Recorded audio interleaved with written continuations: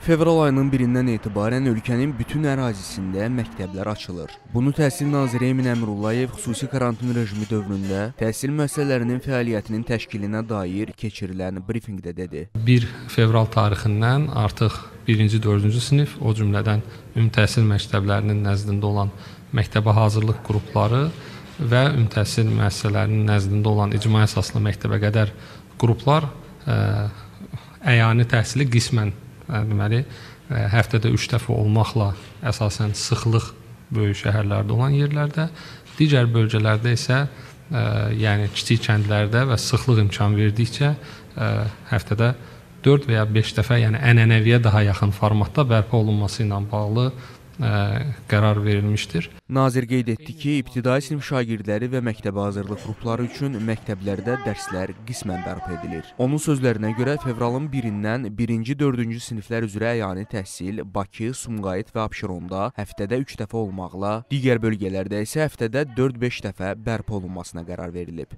Bir sıra digər, yəni 5-ci, 9-cu siniflərin, o cümlədən ə, peşə təhsili müəssisələrinin, ali təhsil müəssisələrində də qismən ə, təhsilin bərpa edilməsi ilə bağlı müvafiq qərarların verilməsini nəzərdə tuturuq. Amma yenə deyirəm, bu qərarların verilməsi üçün zəruri və kafi şərt yoluxmanın ə, sabit qalması və artmamasıdır.